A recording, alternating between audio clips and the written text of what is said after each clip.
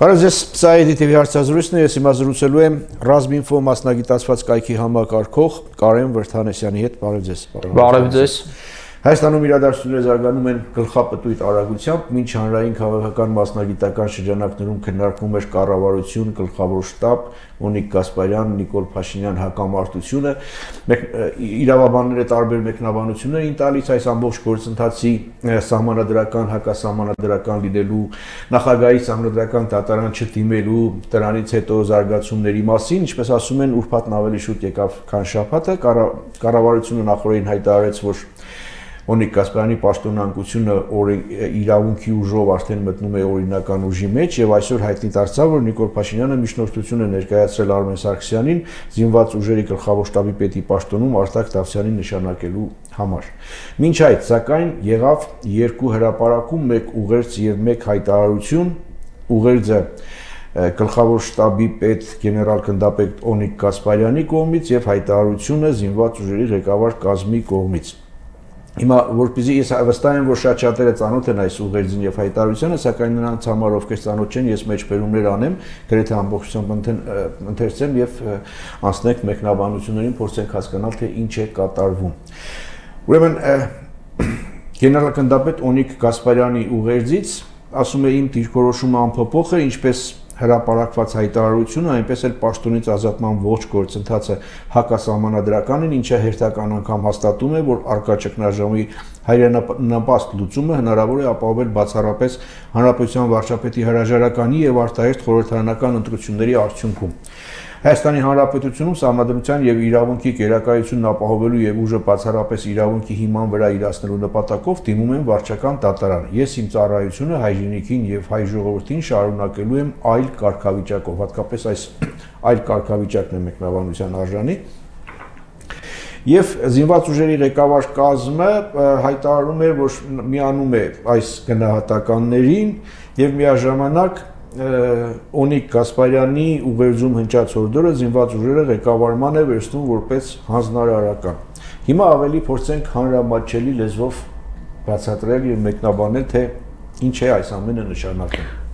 Նախ ինձ թվում է, որ ճիշտ կլիներ, որ այս հայտարարությունները բավականին անհասկանալի հայտարարությունները մեկնաբանեին հենց դրա հեղինակները կամ հեղինակը, Օրինակ, երբ գրածազու ղեկավար կազմի հա այդ հայտարարությունը, տակը ստորագրություններ չկան։ Ի տարբերություն այն նախորդ ստորագրության, որտեղ հստակ ամեն գեներալ, ամեն գնդապետ, ով գործունեին կոնկրետ շտաբի, հա, անդամները, կորպուսների հրամանատարները իրենց անուններով ստորագրել էին այդ հայտարարությունը։ Տվյալ դեպքում ես հարցեր եմ տեսնում ըստ էության գլխավոր շտաբը շարունակում է պնդել, որ հակասահմանադրական են այդ գործընթացները։ Ես իրավաբան չեմ, բայց թեկուզ օրինակ երեկվա մի շարք իրադարձություններ խիստ հարցեր են առաջացնում իրավականության տեսակետից օրինակ 3 հայտարվեց, որ Վաղարշակ Հարությունյանը, Պաշտպանության նախարարը նշանակել է Արտակ Դավթյանին հատուկ հանձնարարությունների գծով ավակ սպա գլխավոր շտաբում։ Պաշտպանության նախարարը ինչ իրավունքով է գլխավոր շտաբում ինչ որ մեկին նշանակում։ Հետո կարծեմ խմբագրվել էր գլխավոր շտաբը դուրս էր բերվել։ Դե այդ դեպքում արդեն པարզ չի այդ քաղաքացիական պաշտոնա ոչ թե զինվորական եթե գլխավոր շտաբը դուրս է բերվել ՊՆ-ում դա կոչվում է ոչ թե ավակ սպա, այլ այդպիսի պաշտոն կա գեներալ։ Մի խոսքով անհասկանալի է շատ։ Հետո ինչ որ մեկնաբանություններ եղան, որ այն ամենայնիվ այդպիսի հաստիկ գոյություն ունի նաև գլխավոր շտաբում, իբր այն ստեղծվել է Կարեն Աբրահամյանի համար 20 թվականի հունվարին բայց նորից եմ կրկնում շատ օրինակ այդ հաստիկը ոչ միտեղ չէր նշվում գլխավոր շտաբում ես ճիշտ ասած շրջանցեցի որովհետեւ իրադարձությունները ավելի հա իրադարձությունները ավելի արագ են բայց ակնհայտ է որ բավական ոչ թե ավակ ստբայի մասին է խոսքը այլ գլխավոր շտաբի հա ակնհայտ է որ իրավական տեսանկյունից շատ փնթի գործընթացներ են ակնհայտ է, որ գոնե մինչև 3 Նիկոլ Փաշինյանը ոչ մի բան չէր վերահսկում այդ բանակի կազմում, հա։ երեք իդեպ ուղղորդված այդպես տեղեկատվական գրող սկսեցին իշխանությունները, միանգամից լուր դրեցին, որ Անդրանիկ Մակարյանին է մեղադրանք առաջադրվել, զուգահեռ նշեցին, որ երկրորդ կորպուսի հրամանատարը ինչ որ բան ազեկուցել Նիկոլ Փաշինյանին, բայց դա զուտ Նիկոլ Փաշինյանի ինչ որ լրատվականի խոսքերով էր դա ոչ Նիկոլ Փաշինյանն էր ասել, ոչ էլ գլխավոր շտաբը մի խոսքով այսպես շիլափլավ իրավիճակ է, խնդիրը ըստ իս ամենակարևոր խնդիրը այն է, որ այս քաոսը, այս անարխիան, այս անիշխանության մթնոլորտը հենց թեկուզ այն, որ այսօր Նիկոլ Փաշինյանը ստիպված էր շեշտել, որ իր հրամանագիրը իրավունքի ուժ ունի, հա? Եթե իշխանությունը կա, դրա մասին հիշացնել, որ այդ իշխանությունը իրավունքի ուժով է, դրա կարիքը չկա, եթե նա հիշացնում է, նշանակում է խնդիրներ կա այդ թվում եւ իր մոտ հիմա ես չգիտեմ, այս գիշերվա ընթացքում ինչ է ասվել Օնիկ Գասպարյանին, որ Ունի Գասպանի հայտարարությամբ նա པարզ չի էլի, այդ ինչ այլ կարգավիճակով է շարունակելու իր պարտականությունները կատարել։ Ամեն ամեն դեպքում այսպես ենթադրությունները արդյոք դա ժամանակավոր պաշտոնակատարն է, արդյոք դա մի խոսքով ոչ մի բան པարզ չի, ընդ որում ոնց հասկանում եմ, པարզ չի նաև այն մարդկանց համար, ովքեր նաև այն այդ ղեկավար կազմի հայտարարությունն էին ստորագրել, հա, առաջի այդ որ եղավ։ Մի խոսքով շատ անկայուն իրավիճակ է եւ մենք ինչպես տեսնում ենք այս վերջի 3 տարվա ընթացքում անընդհատ այսպիսի սենց հերթական համակարգն է կոտրվում, փշրվում, ընկնում ինչ որ անարխիայի գիրկը ու ընդհանրապես པարզ չի լավ այսպես մինչև երբ ասենք այնպեսի տպավորություն է, որ վերջում մնալու է միայն Նիկոլ Փաշինյանը եւ իր աթոռը արդեն երկիրներ չի լինելու, բայց նա շարունակելու է պնդել, որ նա է վարչապետը եւ այլն եւ այլն։ Իհարկե ԳՇ-ի հայտարարություններն էլ, գլխավոր շտաբի հայտարարություններն էլ, նու առնվազն լրացուցիչ նորմալ parzabanman կարիք ունեն նույնիսկ գլխավոր շտաբի որոշ ասենց ասեմ աշխատողների մեծամասնության համար որտեվ շատերին անհասկանալի է դա ինչ էր նշանակում։ Բայց մենք փորձենք հասկանալ անհասկանալին, հա, ձեր ասած։ Ամեն դեպքում, եթե ասում է, որ դիմելու է վարչական դատարան եւ ծառայությունը հայրենիքին եւ հայ ժողովրդին շարունակելու է այլ կարգավիճակով, Այստեղից ինչ է բխում այլ կարգավիճակ ասվածը զինված ուժերի թե արդեն դուրս քաղաքական հարթության մեջ ձեր կարծիքով ո՞րն է սա։ Ինչպես ասում է դասականը, չեմ կարող պատասխանել ձեր հարցին։ Չունեմ պատասխան։ Ասենք եթե հնարավոր տարբերակներ լիներ, հնարավոր տարբերակները շատ-շատ են։ Ես չգիտեմ ինչա նշանակում այլ կարգավիճակ։ Ես հասկանում եմ, որ այս գործընթացները իրավական առումով թեկուս Նիկոլ Փաշինյանի հրամանը, այդ պինգ-պոնգը, հա, այն տակ կարտոֆիլի պես իրար ձեռքից ձեռք են գցում այդ թեման, ինչ որ ՍԴ, նախագահ, գլխավոր շտաբ, կառավարություն, կառավարություն բնականաբար այդ այդ ամեն ինչը լուրջ հարցեր է առաջացնում։ Բայց խնդիրն այն է, որ մենք անմարթաբնակ կղզում չենք օվկիանոսի մեջտեղում, որը ոչ մեկին հետաքրքիր չի ու որը հազարավոր կիլոմետրերով հեռու է ցանկացած սպառնալիքից։ Մենք երկու շատ լրջագույն թշնամիների մեջտեղ ենք, հա, մեջտեղում ենք ու իրենք ընդհանրապես չեն թաքցնում իրենց ախորժակները իրենք նոյեմբերի 9-ի հայտարարությունից այդ հետո, հա, կապիտալ կապիտուլյացիոն, ըստ էության իրենք չեն դադարեցրել իրենց ռազմատենչ ագրեսիվ հռետորաբանությունը ավելի ավելի է կոստացել ավելի չեն դադարել բանակաշինության վերազինվելու այդ գործընթացը իրենք շատ արագ թափով բանակը վերակառուցում են, ընդլայնում են, սպառազինվում են, կորուստները վերականգնում են եւ այլն։ Հայաստանում ինչ որ անհասկանալի բալետ ասեմ, կրկես ասեմ, չգիտեմ ինչ ասեմ, հա փաստ է որ մեր անվտանգային համակարգը այսօր խայտարակ վիճակում է դա փաստ է ըստ էության ինչ որ առանձին կտորներ կան փաստ է որ անվտանգային համակարգի այդ կարևոր տարը դա համագործակցությունն է պետական բոլոր կառույցների միջև, հա։ Ռուսեն եթե ասեմ, слаженная работа դա չկա ընդհանրապես։ Դա պատերազմի ժամանակ էլ երևաց եւ ես դա համարում եմ մեր պարտության գլխավոր պատճառը, հիմնական պատճառը այդ որ թիկունքը կոպիտ ասած համաձայնեցված չէր աշխատում բանակի հետ։ Պետությունը պատերազմական ռելսերի տեղափոխած չէր, ինչ որ միտեղ պայքար կար, ինչ որ միտեղ լրի ֆիդայական մակարդակով էր, մարդիկ ինչ որ, չգիտեմ, զրահաբաճկոններ ու տեսա գիշերային տեսանելիության սարքեր էին փող էին հավաքում ուղարկում եւ այլն եւ այլն։ Կատարյալ քաոս էր եւ պատերազմի պարտության հիմնական պատճառը այդ քաոսն է։ Կգանք դրան, բայց ելի վերադառնալով այսօրվա իրադարձություններին, այս ուղերձին եւ հայտարարությանը, Հիմա սա ինչ է նշանակում, այսինքն հակամարտությունը սրա, եթե նույնիսկ ընդունում ենք, որ վարչապետի միջնորդագիրը իրավունքի ուժով մտնում է օրինական ուժի մեջ։ Եվ մենք այսօր վաղը կունենանք գլխավոր շտաբի նոր պետ։ Սա արդյոք նշանակում է, որ կառավարություն եւ զինված ուժեր, կառավարություն եւ գլխավոր շտաբ հակամարտությունը ավարտվում է թե շարունակվում է որովհետեւ միայն գլխավոր շտաբի պետի հարցը չէր ընտեղ մենք տեսնում այստեղ ստորագրություններ չկան բայց այն առաջին հայտարարության մեջ մենք տեսանք ստորագրությունները 40 կարծեմ բարձրաստիճան զինվորականներ հա։ դե բանակը դա այնպես չէ որ 1 կամ 5 կամ 10 ղեկա 10 այդ ղեկավար կազմից մարդ փոխեցիր ու ամեն ինչ կսկսի աշխատել այդպես չէ ու այս տարիների ես վերջի 3 տարվա անընդհատ այդ կադրային ցնցումները, անընդհատ վերադասավորումները եւ այլն ըստ էության բանակին պարալիզացրել են։ Իդեպ նույնը ԱԱՑ-ում, նույնը ոստիկանությունում, հա։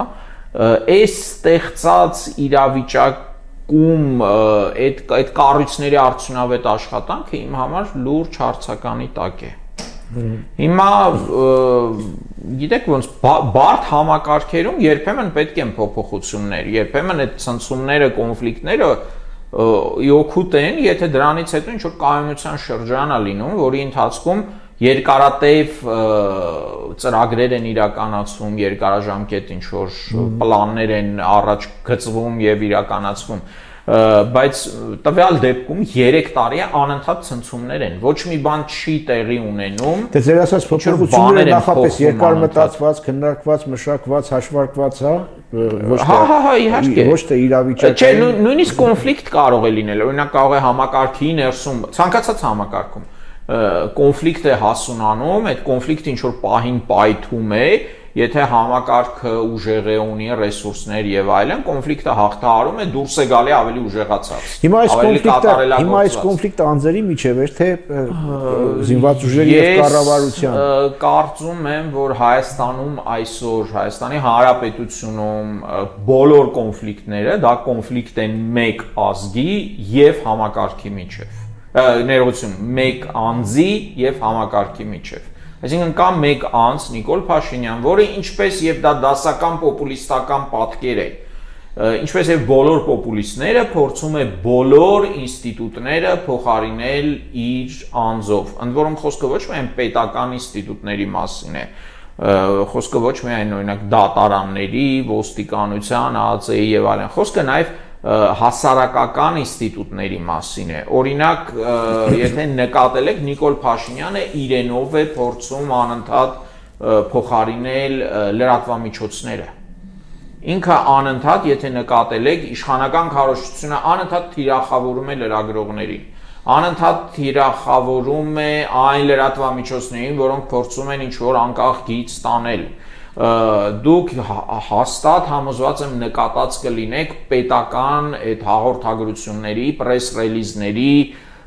ամբարտավան ոճը։ Հա, շատ ագրեսիվ, շատ վիրավորական, 4 ստահոդ լուրեր, որոշ լրատվամիջոցներ եւ այլն այդ ոճը, հա, որը ելի առաջի օրերից է դրված, եթե հիշում եք, այդ կոնֆլիկտները լրագրողների հետ համարյա առաջին օրերից իշխանություններին ուղեկցում են։ Լավ, այսինքն այդ այդ նկատի ունեմ, որ բոլոր ինստիտուտները փորձում է իր անձով փոխարինել որովհետև լինելով ըստ էության շատ թույլ ղեկավար, չի կարողանում համակարգը ղեկավարել, ըստ այդմ համակարգը քանդում է։ Եվ հերթական այդպիսի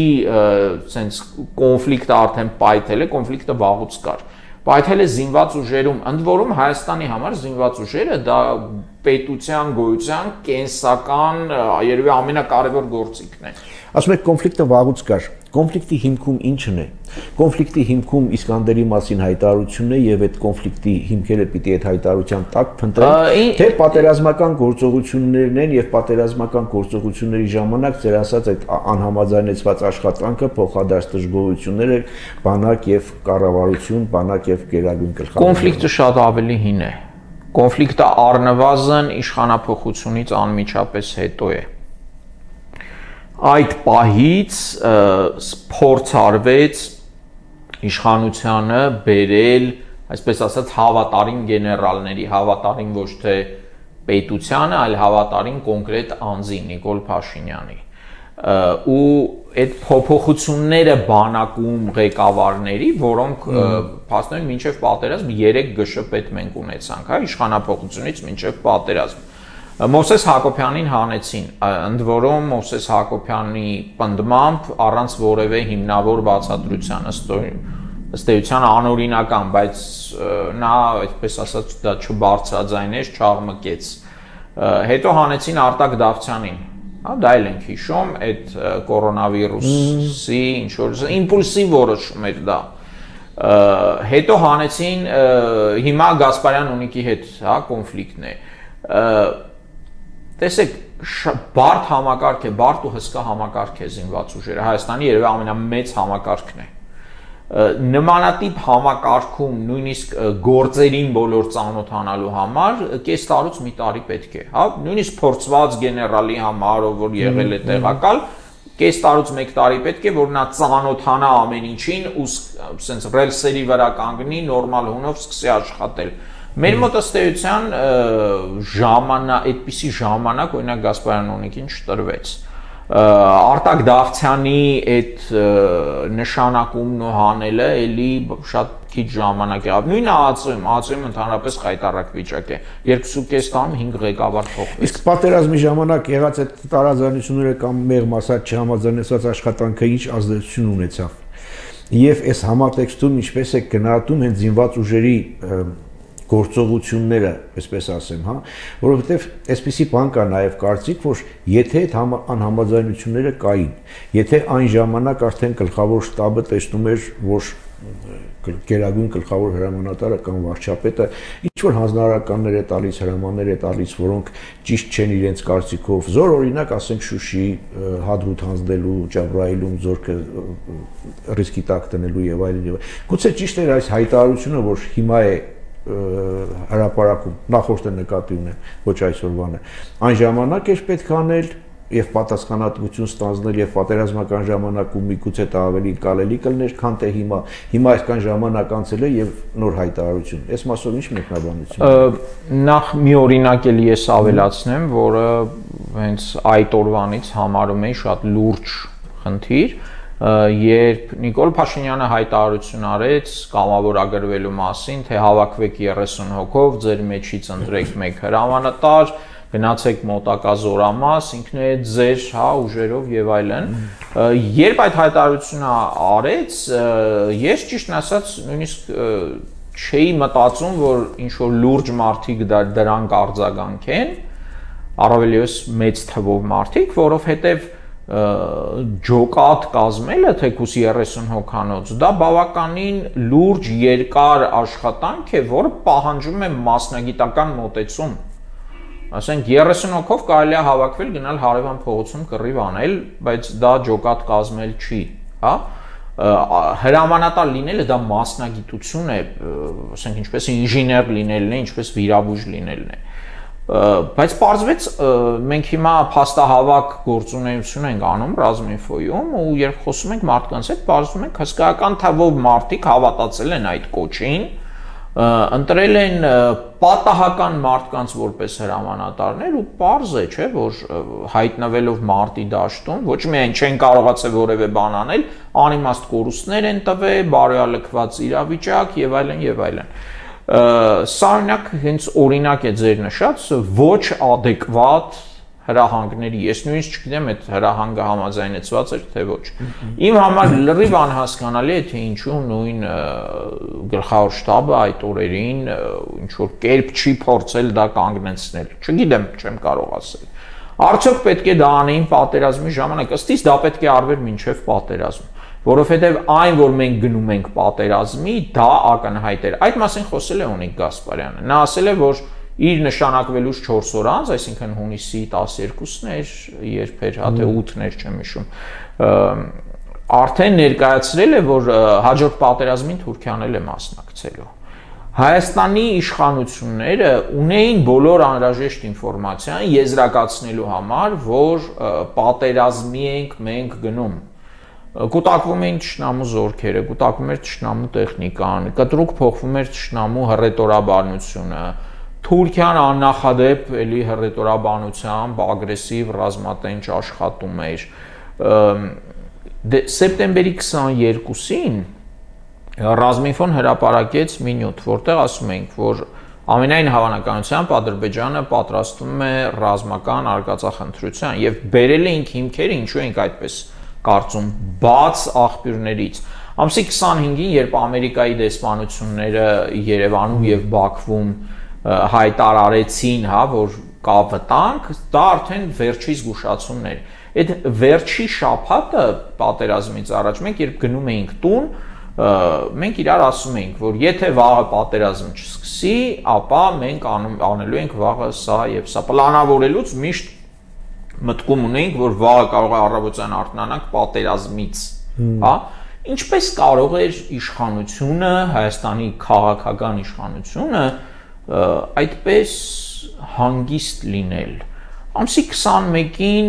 Նիկոլ Փաշինյանը զբաղված էր այդ տոնախմբություններով, ինչ որ 1.5 ժամանոց պրեզենտացիա արեց, այդ Հայաստան 2050 ինչ որ ֆանտաստիկ պատկերներ ներկայացնելով, որտեղից իրան այդքան ժամանակ, եթե մենք պատրաստվում ենք պատերազմի, Պաշտպանության նախարարը ընդհանրապես Հայաստանում չէր, այսինքն այդ այդ այդ կարգի անհասկանալի վիճակ է։ Ես նույնիսկ բառեր չեմ գտնում, հա, ասեմ, ադրբեջանային բարգ արխային, ես չեմ հասկանում այդ արխայինության հիմքը ինչ է։ Հիմա էլ արխային ենք, հա։ Հիմա էլ չափից շատ արխային ենք, որովհետև այն դեպքում, երբ թշնամին անթակույց սպառնալիքներ է հնչեցնում բացահայտ արդեն առանց քաշվելու, առանց միջազգային որևէ արձագանք ակնկալելու, sense հանգիստ գործում են բաց այդ իրավիճակում այդ իշխանության այս գործողությունները, որ ըստ էության Հայաստանը դարձել է մեկ մարդու իշխանության պատանդ, որ այ Նիկոլ Փաշինյանը պետք է մնա իշխանության, թե չէ Հայաստան չի լինի։ Բայց այսպես շարունակելով մենք այսպես թե այնպես կորցնում ենք պետությունը որովհետև մեր հույսը միայն ռուսների քաղաքական երաշխիքներն են, Ռուսաստանի քաղաքական երաշխիքներն են։ Բայց Ռուսաստանը նույնիսկ Հայաստանում չունի այնքան զորք, որ եթե հանկարծ, հա, չգիտեմ, Իլհամ Ալիևը քնեց վատ երաս տեսավ, զարթնեց, զանգեց Էրդողանին, որը էլի այդ գիշեր վատ երաս տեսած լինի ու փորձեն ինչ որ արկածախնդրության դիմել, զուտ թվականակով, զուտ լոգիստիկ առումներով եւ այլն, այստեղի ռուսական զինուժը բավարար չէ այդպիսի հարցակումը կանգնեցնելու համար։ Եկեք անկեղծ լինենք։ Տեղեկությունները ճիշտ են, որ ադրբեջանցի զինվորականները շրջում են մեքենաներով Հայաստանի տարածքում նկարահանում են ռազմական քաղաքացիական օբյեկտներ։ Այս մասով ինչ գիտեք։ Հայաստանի Հանրապետության ազգային անվտանգության ծառայությունը ելի մի տենց ջղային պրես ռելիզ հրապարակեց այդ կապակցությամբ Եվ ընդունեց, որ այո, այդպես եղել է, որ մի ամիս առաջ ադրբեջանցի սահմանապահներ